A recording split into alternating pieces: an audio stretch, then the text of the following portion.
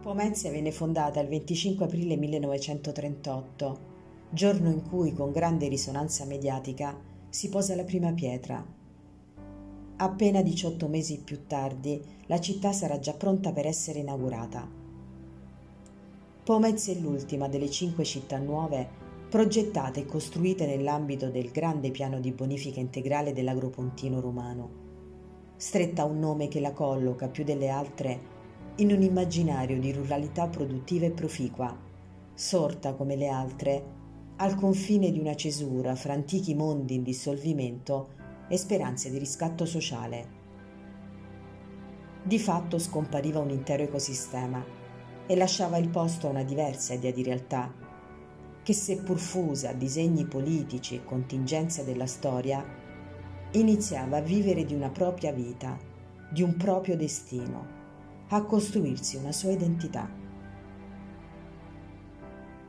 Ma quale configurazione spaziale e quali forme architettoniche vengono scelte per la città nuova?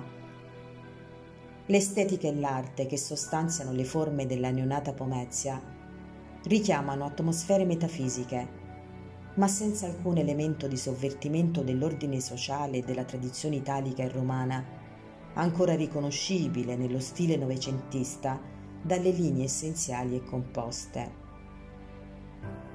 Negli anni 20 e 30 del Novecento in Italia solo il futurismo si pone con un atteggiamento di totale rottura.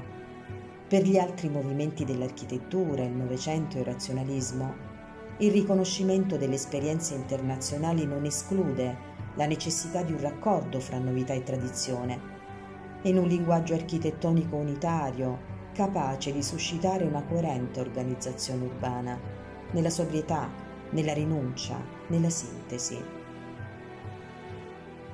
Anche a Pomezia dunque si tornerà alle superfici lisce, alla elementarietà della composizione, alla costrizione della decorazione solo ai punti dove si vuole raccogliere l'attenzione.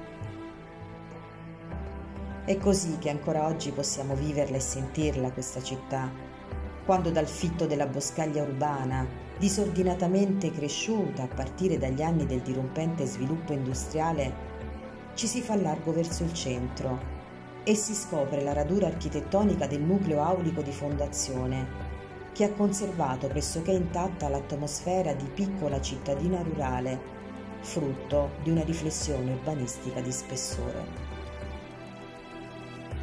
Si ha ancora la sensazione di scorgere lo sguardo ammirato dei coloni fondatori, che vennero da punti cardinali diversi ad abitare i poderi, a coltivare le campagne, a ritrovarsi nell'area urbana di Pomezia per le necessità degli scambi sociali, religiosi, economici e culturali.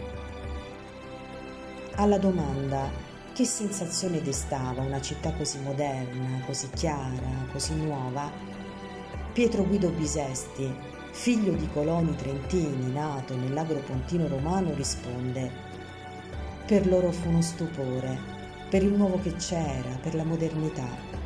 Le case ancora profumavano di calce, perché erano appena state costruite.